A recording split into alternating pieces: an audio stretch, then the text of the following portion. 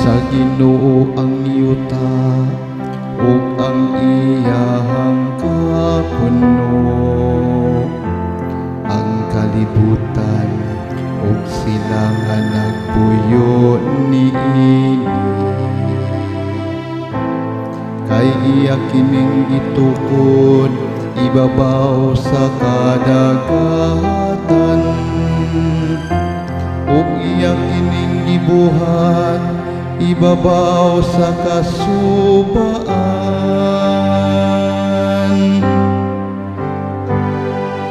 Sa Ginoo ang yuta ug ang inyang kapuno.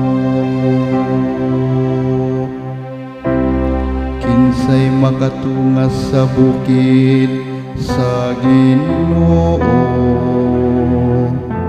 Kinsay makabarog sa iyang balaang dapit.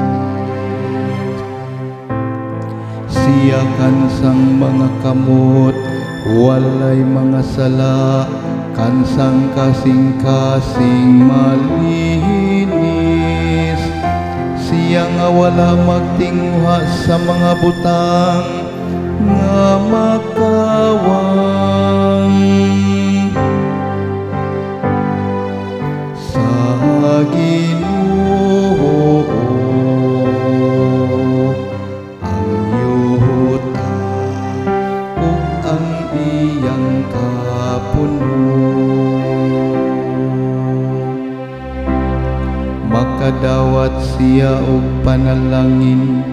gikan sa Ginoo.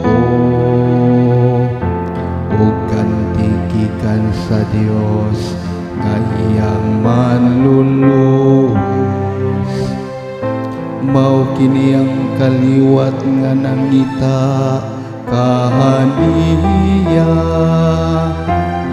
Nga nangita sa naong sa Dios ni Hakon